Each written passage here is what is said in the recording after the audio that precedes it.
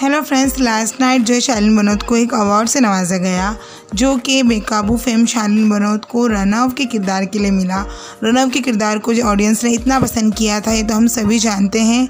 और बेकाबू जो है इतना लोगों में लोकप्रिय था और हम सभी वेट कर रहे हैं कि बेकाबू का सीज़न टू बने जिसमें ईशा और शालिन ही जो है रनव और बेला का किरदार अदा करे और इसी तरीके से इन्हें जो है अवार्ड्स मिलते रहे